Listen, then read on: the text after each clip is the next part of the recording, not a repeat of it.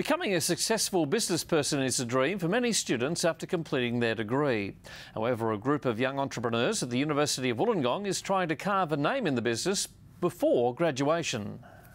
It's a business based on travelling, meeting people, and partying, and it's a dream come true for this trio of University of Wollongong students. It all started with a Facebook page. It's transformed into a company providing cheap travel and cheap thrills. Our first trip started with 11 of us from UOW, went to Japan.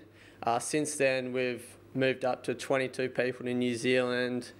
And then with our pub crawls, that kind of started at 200 people, and our last event had over 350. It's a simple concept, but one these students have been sharing with others. The University of Wollongong has launched its own Entrepreneurs Club with an emphasis on IT, allowing business savvy students a chance to develop their ideas. If you do actually get a group of people all together, you can actually share ideas and see what works, and also making contacts with who they know and where your idea could actually work. IT guru Geoff McQueen is their mentor. He set up his own company, Internetrix, and works around the globe.